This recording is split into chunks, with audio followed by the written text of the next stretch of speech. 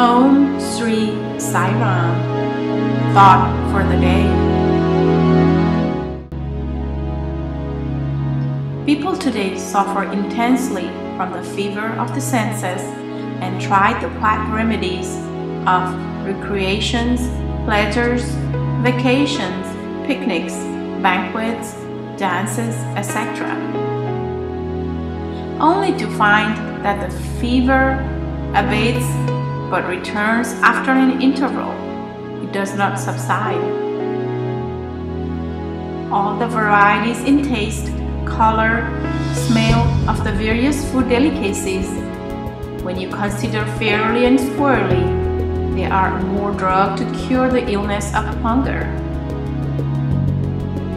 All the drinks that people have invented are but drugs to alleviate the illness of thirst. What you term luxury today is a thing that drags people into excitement and insane pursuits. A fever will go away only when the hidden virus is rendered ineffective.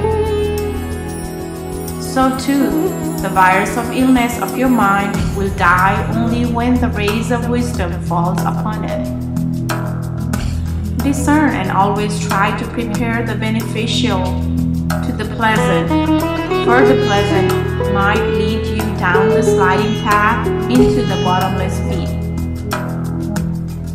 Baba.